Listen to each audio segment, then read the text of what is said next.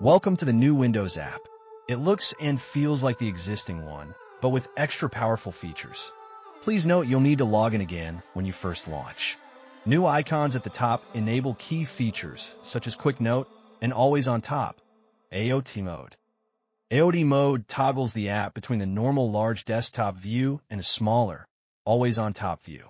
This mode is intended to be a floating window that you could take notes when doing other tasks. The top section is a quick note window, and the bottom shows recently created cards. Clicking a card lets you pop it out onto the desktop.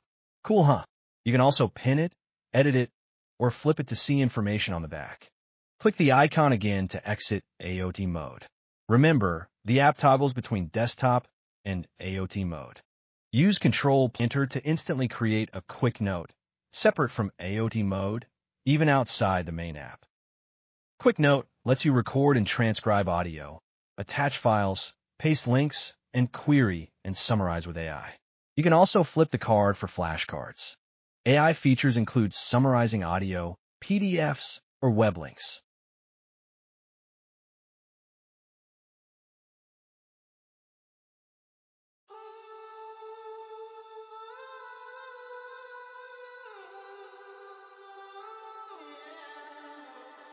Ask ChatGPT a quick question by typing it in the title area and clicking the AI button.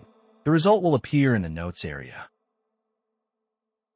Attaching a file, like a PDF or audio, lets you analyze it with AI. The system can also automatically create a summary of the file.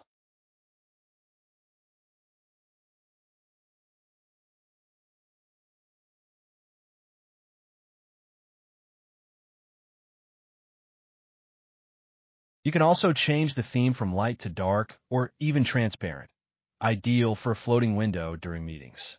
While recording, you can save a note without stopping the recording, which is great for taking multiple notes during meetings or lectures.